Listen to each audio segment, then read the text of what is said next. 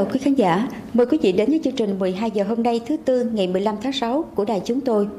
Thưa quý vị, tiếp tục chương trình làm việc của kỳ họp thứ ba, sáng nay Quốc hội đã biểu quyết nghị quyết về phê chuẩn quyết toán ngân sách nhà nước năm 2020 và thảo luận tại hội trường về dự án luật dầu khí sửa đổi. Với đa số đại biểu tán thành, Quốc hội đã nhất trí thông qua nghị quyết phê chuẩn quyết toán ngân sách nhà nước năm 2020. Theo nghị quyết, Quốc hội đánh giá cao nỗ lực của chính phủ trong điều kiện dịch COVID-19 bùng phát phải thực hiện các biện pháp phòng chống dịch, giãn cách xã hội, thiên tai bão lũ xảy ra nghiêm trọng ở nhiều địa phương và nhiều khó khăn khác, nhưng tổng thu ngân sách đạt 98,2% dự toán, thu nội địa vượt 0,2% dự toán, tỷ trọng thu nội địa đạt 85,6% tăng so với năm trước, nợ thuế giảm 0,63%.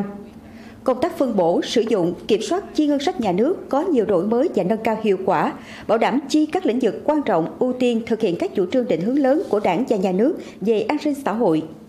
Về phê chuẩn quyết toán ngân sách nhà nước năm 2020, nghị quyết của Quốc hội nêu rõ tổng số thu cân đối ngân sách nhà nước gần 2 triệu 300 ngàn tỷ đồng, tổng số chi cân đối ngân sách nhà nước khoảng 2 triệu 350 ngàn tỷ đồng, Bộ chi ngân sách nhà nước gần 216.000 tỷ đồng, bằng 3,44% tổng sản phẩm trong nước, không bao gồm kết dư ngân sách địa phương. Quốc hội giao chính phủ công khai quyết toán ngân sách nhà nước năm 2020 theo đúng quy định của pháp luật, giao Quỹ ban Thường vụ Quốc hội, Quỹ ban Tài chính, Ngân sách, Hội đồng dân tộc, các quỹ ban khác của Quốc hội, đoàn đại biểu Quốc hội, đại biểu Quốc hội và Hội đồng Nhân dân các cấp trong phạm vi nhiệm vụ quyền hạn giám sát việc thực hiện nghị quyết này. Sáng nay tại Hà Nội, Chính phủ đã tổ chức hội nghị trực tuyến Ban chỉ đạo của Chính phủ triển khai thực hiện dự án xây dựng công trình đường bộ cao tốc Bắc Nam phía Đông theo quyết định số 262 của Thủ tướng Chính phủ. Phó Thủ tướng Chính phủ Lê Văn Thành đã chủ trì hội nghị. Dự tại điểm cầu Cần Thơ có ông Trần Diệt Trường, Phó Bí thư Thành ủy, Chủ tịch Ủy ban nhân dân thành phố, ông Nguyễn Ngọc Hè, Phó Chủ tịch Ủy ban nhân dân thành phố Cần Thơ. Theo quy hoạch, tuyến đường bộ cao tốc Bắc Nam phía Đông dài 2.063 km, đến nay đã đưa vào khai thác 478 km, đang đầu tư 829 km, còn lại 756 km chưa đầu tư. Trong giai đoạn 1 năm 2017 đến năm 2020, dự án gồm 11 dự án thành phần với tổng chiều dài trên 600 km, trong đó 4 dự án thành phần gồm Mai Sơn, Quốc lộ 45, Cam Lộ, La Sơn, Vĩnh Hảo, Phan Thiết, Phan Thiết, Dầu Dây đang phấn đấu hoàn thành đưa vào khai thác trong năm 2022. Mặc dù tổng thể công tác bồi thường giải phóng mặt bằng đã đạt trên 90%, các đơn vị đang quyết tâm nỗ lực tổ chức thi công. Tuy nhiên hiện nay vẫn còn một số tồn tại trong công tác giải phóng mặt bằng và thủ tục cấp phép mỏ vật liệu, đất đắp nền. Tại một số địa phương chưa được giải quyết dứt điểm, làm ảnh hưởng đến tiến độ hoàn thành chung của dự án. Một số công trình hạ tầng kỹ thuật chưa hoàn thành di dời trong phạm vi mặt bằng đã bồi thường vẫn còn tồn tại dướng bắc trên tổng chiều dài khoảng 2,6 km. Tổng khối lượng xây lắp hoàn thành đến nay khoảng 20.087 tỷ đồng, tương đương 35,4% giá trị hợp đồng, chậm khoảng 0,7% giá trị hợp đồng so với kế hoạch. Đối với giai đoạn 2 của dự án với mục tiêu hoàn thành 729 km, Chính phủ giao Bộ Giao thông Vận tải và các địa phương triển khai khẩn trương công tác đo đạc, kiểm đếm, lên phương án bồi thường, giải phóng mặt bằng, tái định cư, phấn đấu bàn giao ít nhất 70% diện tích mặt bằng của các gói thầu xây dựng đến ngày 31 tháng 12 năm 2022. Hôm qua, đồng chí Lê Giang Thành, Ủy viên Ban Thường vụ, chủ nhiệm Ủy ban Kiểm tra Thành ủy đã đến làm việc với Đảng bộ xã Thành Lợi, huyện Vĩnh Thạnh về kết quả thực hiện nghị quyết và kết quả xây dựng xã nông thôn mới kiểu mẫu trong 6 tháng đầu năm. 6 tháng đầu năm, xã Thành Lợi đã thực hiện khá toàn diện các nhiệm vụ chỉ tiêu theo phân kỳ, nổi bật là làm tốt công tác chăm lo Tết cho các đối tượng, tuyển quân thực hiện đạt về số lượng và chất lượng, thu ngân sách vượt chỉ tiêu, trong xây dựng nông thôn mới kiểu mẫu, đến nay đã cơ bản đạt 15 trong số 19 tiêu chí. 4 tiêu chí còn lại có tiêu chí thu nhập bình quân đầu người chỉ mới đạt trên 62 triệu đồng. Theo quy định phải đạt trên 64 triệu đồng. Tỷ lệ người dân tham gia bảo hiểm y tế chỉ mới đạt trên 92%.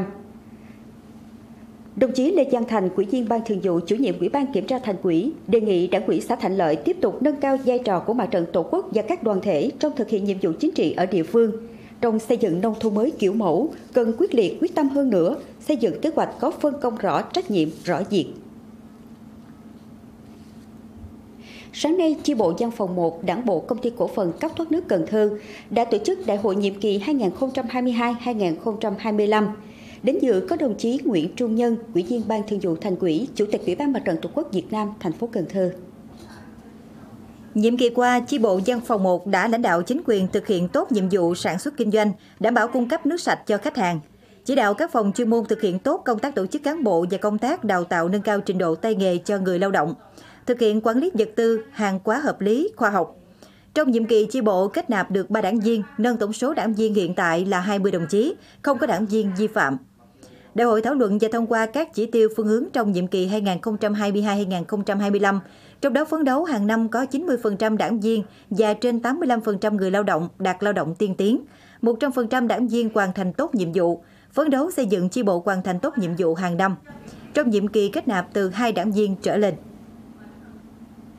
Chi bộ phòng kế hoạch tổng hợp, quản lý chất lượng thuộc Đảng bộ bệnh viện phụ sản thành phố Cần Thơ trực thuộc Đảng bộ khối cơ quan dân chính đảng thành phố, cũng vừa tổ chức Đại hội đảng viên lần thứ tư nhiệm kỳ 2022-2025. Đây là chi bộ được Ban Thường vụ Đảng ủy khối chọn tổ chức đại hội điểm để rút kinh nghiệm. Nhiệm kỳ qua, chi quỹ chi bộ phòng kế hoạch tổng hợp quản lý chất lượng lãnh đạo thực hiện hoàn thành và dược các chỉ tiêu. Chi bộ đã chỉ đạo tiếp nhận và cấp cứu kịp thời các trường hợp bệnh lý, sản phụ khoa, nhi sơ sinh nặng được các bệnh viện tuyến dưới và gia đình bệnh nhân chuyển đến, không để xảy ra tai biến chuyên môn do thiếu tinh thần trách nhiệm. Triển khai 25 kỹ thuật mới đạt 277% so với chỉ tiêu nhiệm kỳ, thực hiện nhiều đề tài nghiên cứu khoa học các cấp có tính ứng dụng cao, huy động hơn 1 tỷ 300 triệu đồng hỗ trợ 628 lượt bệnh nhân có hoàn cảnh khó khăn. Tại đại hội, các đảng viên chi bộ phòng kế hoạch tổng hợp quản lý chất lượng thống nhất xác định thực hiện mục tiêu nhiệm kỳ 2022-2025, xây dựng chi bộ hoàn thành tốt nhiệm vụ, nâng cao chất lượng chăm sóc y tế lĩnh vực sản phụ khoa nhi sơ sinh, xứng tầm bệnh viện chuyên khoa khu vực đồng bằng sông Cửu Long, chú trọng công tác đào tạo cán bộ có tâm, đạo đức, trình độ chuyên môn gắn bó lâu dài với bệnh viện. Thưa quý vị, đại biểu Hội đồng Nhân dân thành phố Cần Thơ đơn vị quyện Vĩnh Thạnh vừa có buổi tiếp xúc cử tri các xã Thành An, Thành Thắng, Thành Lợi, Thành Quế, Thành Tiến và thị trấn Thành An. Cử tri ý kiến cần có giải pháp giải quyết bài toán giá vật tư nông nghiệp, giá thức ăn chăn nuôi tăng cao, trong khi giá các mặt hàng nông sản sụt giảm. Tăng cường đầu tư xây dựng các tuyến đường nông thôn, hỗ trợ kinh phí hoạt động cho tổ nhân dân tự quản, đội dân phòng, quan tâm sửa chữa mạng lưới truyền thanh cơ sở. Cử tri cũng quan tâm vấn đề sách giáo khoa mới không thể tái sử dụng được, gây lãng phí và là gánh nặng cho phụ huynh học sinh. Các vị đại biểu Hội đồng Nhân dân đã tiếp thu ghi nhận và làm rõ thêm những vấn đề cử tri quan tâm. Sáng nay, trường chính trị thành phố Cần Thơ đã khai giảng lớp bồi dưỡng công tác dân vận chính quyền năm 2022. Lớp học diễn ra trong 3 ngày, từ ngày 15 đến ngày 17 tháng 6. 60 học viên là cán bộ công chức viên chức thuộc các sở ban ngành quận quyện thành phố sẽ được học 6 chuyên đề mục tiêu, quan điểm, nhiệm vụ, giải pháp công tác dân vận của đảng trong tình hình mới, cải cách hành chính, công tác dân vận của các cơ quan nhà nước, tăng cường đổi mới công tác vận động đồng bào dân tộc thiểu số, tăng cường đổi mới công tác vận động đồng bào tôn giáo, xây dựng và thực hiện quy chế dân chủ cơ sở. Mới đây, Công an thành phố Cần Thơ đã tổ chức lễ công bố quyết định xuất ngũ và chuyển sang chế độ chuyên nghiệp cho hạ sĩ quan nghĩa vụ hết thời hạn phục vụ trong Công an Nhân dân. Qua 2 năm công tác tại công an các đơn vị địa phương trong thành phố, 277 hạ sĩ quan nghĩa vụ đã được giáo dục huấn luyện đầy đủ các nội dung về chính trị, nghiệp vụ, pháp luật, dân dân. Thực hiện nhiều nhiệm vụ quan trọng trong công tác trên các lĩnh vực như bảo vệ các mục tiêu, thi hành án hình sự và hỗ trợ tư pháp, đảm bảo an ninh trật tự các sự kiện, tham gia các chốt bảo vệ phòng chống dịch COVID-19, chữa cháy, cứu hộ, cứu nạn trên địa bàn. Có 23 đồng chí được kết nạp vào Đảng Cộng sản Việt Nam, một đồng chí trúng tuyển vào trường Đại học Kỹ thuật Hậu cần Công an Nhân dân. Lãnh đạo Công an thành phố Cần Thơ mong muốn các đồng chí khi trở về địa phương cần tiếp tục phát huy tốt những phẩm chất tốt đẹp của người chiến sĩ, tích cực tham gia phong trào toàn dân bảo vệ an ninh Tổ quốc tại địa phương. Thưa quý vị và các bạn, năm nay, Sở Giao thông Vận tải thành phố Cần Thơ dành trên 80 tỷ đồng từ nguồn ngân sách để sửa chữa nâng cấp cầu đường trên các tuyến đường tỉnh thuộc địa bàn thành phố. Có khoảng 30 hạng mục công trình được thực hiện trước mùa mưa bão năm nay. Đó là giảm giá, nâng cấp lại các đoạn đường cầu giao thông hư hỏng, cải tạo và lắp đặt hệ thống cống thoát nước, thay mới hệ thống biển báo hiệu đường bộ, kết hợp thảm nhựa một số tuyến đường hư hỏng xuống cấp để đảm bảo an toàn giao thông, nhiều nhất là các tuyến đường tỉnh 926, 922 đi từ quận Ô Môn vào Thới Lai, đường tỉnh 919, 923, 920C. Hiện nay, Sở Giao thông Vận tải thành phố đang quản lý 12 đường tỉnh đi qua các quận quyện. Mật độ giao thông trên đường tỉnh Đông. Nhiều năm qua, việc tu sửa được thực hiện thường xuyên nhưng lại nhanh chóng hư hỏng vì không có hệ thống cống thoát nước. Dự án đường dành đai phía Tây được Ủy ban Nhân dân thành phố Cần Thơ phê duyệt với tổng mức đầu tư trên 3.800 tỷ đồng từ ngân sách. Dự án đi qua địa bàn quận Ôn Môn, Bình Thủy, Cá Răng, huyện Phong Điền và một phần quận Ninh Kiều. Cùng với các địa phương có dự án đi qua thì quận Bình Thủy đang tập trung quyết liệt các biện pháp để thu hồi mặt bằng phục vụ cho việc khởi công các gói thầu của dự án. Ghi nhận của phóng viên thời sự. Hơn một tháng sau khi các ngành chức năng ở thành phố và quận Bình Thủy triển khai dự án đường dành đai phía Tây, trong đó có đoạn đi qua địa bàn khu vực Thới Hòa, phường Thế An Đông, người dân địa phương này hết sức phấn khởi. Khi mà được cái thông báo ở trên đưa xuống mà làm cái con lộ dành đai này á, thì dân ở đây nói chung là rất là phấn khởi. Bởi vì ở đây mình nào giờ chưa có cái lộ nào mà lớn hết trơn á. Bây giờ có cái lộ lớn đi ngang qua thì bà con rất là vui mừng. À, vậy. Rồi bây giờ thí dụ như sau này mà có cái chủ trương nhà nước là thu hồi đất hay làm cái gì đó thì bây giờ ở đây nhất trí là dân là, là, là thống nhất liền. Dự án đường dành đai phía Tây đi qua địa bàn quận Bình Thủy có khoảng 463 trường hợp bị ảnh hưởng, trong đó phường Long Tuyền 370 trường hợp, phường Thế An Đông 93 hộ. Để việc kiểm đếm đo đạt được thuận lợi, các phường có dự án đi qua đã tổ chức tuyên truyền vận động người dân về ý nghĩa của dự án, đồng thời phối hợp với các ngành của quận để lập danh sách các tổ chức cá nhân bị ảnh hưởng. Địa phương thì cũng đã phối hợp với đơn vị là à, chủ đầu tư cũng như là các đơn vị có liên quan đó để à, chúng ta phối hợp để à, cắm mốc. À, cụ thể thì à, cũng đã cắm mốc xong và phối hợp chặt chẽ để là thực hiện cái việc kiểm đếm. Tuyên truyền à, đến cái người dân hiểu rõ cái, cái, cái ý nghĩa của việc cái làm đường. Từ đó người dân đồng thuận cũng tạo điều kiện cho các cái cơ quan chức năng thực hiện nhiệm vụ như là kiểm đếm kiểm kê à, tài sản vật kiến vật kiến trúc hoa màu à, để cho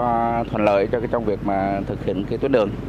Các phường có dự án đi qua đã thành lập hội đồng giải phóng mặt bằng cấp phường và lên kế hoạch phối hợp với Sở Giao thông Vận tải để cắm mốc giải phóng mặt bằng, tiến hành đo đạc hiện trạng để làm cơ sở cho việc chi trả bồi hoàn khi thu hồi mặt bằng. Địa phương thì cũng nắm tình hình, rồi à, vận động bà con, rồi không ờ, xây dựng nhà cửa để đối phó với ờ, cái quy hoạch đó. Đường dành đến phía Tây có đi ngang ờ, đất của tôi thì tôi cũng sẵn sàng là bàn giao mặt bằng sớm để giúp cho công trình hoàn thành sớm đúng tiến độ. Đến giữa tháng 6 này, của Bình Thủy đã hoàn tất việc cắm mốc giải phóng mặt bằng, cũng như danh sách các trường hợp cá nhân tổ chức bị ảnh hưởng, chuẩn bị cho việc đo đạc kiểm đếm và chi trả bồi hoàn cho các trường hợp bị ảnh hưởng, phục vụ cho việc khởi công các dự án của đường dành đai phía Tây. Chuyển sang thông tin về nông nghiệp, Thưa quý vị, Chi cục trồng trọt và bảo vệ thực vật thuộc Sở Nông nghiệp và Phát triển nông thôn thành phố Cần Thơ đã vừa tổ chức tập huấn kỹ thuật phòng chống chuột gây hại cây trồng cho 30 học viên là nông dân và cán bộ trạm trồng trọt và bảo vệ thực vật các quận huyện. Tham gia tập huấn, các học viên được tiến sĩ Nguyễn Thị Mỹ Phụng, chuyên gia nghiên cứu về chuột, cập nhật những kiến thức tổng quan về chuột, những tác động thiệt hại cho chuột gây ra, các biện pháp quản lý chuột ở Việt Nam hiện nay, khuyến cáo về các phương pháp diệt chuột, Thời gian gần đây do ảnh hưởng của biến đổi khí hậu nên chuột sinh sôi rất nhanh và gây hại lớn trong sản xuất nông nghiệp. Tại thành phố Cần Thơ, chỉ riêng trên cây lúa, chuột đã gây thiệt hại làm giảm 2 đến 3% năng suất.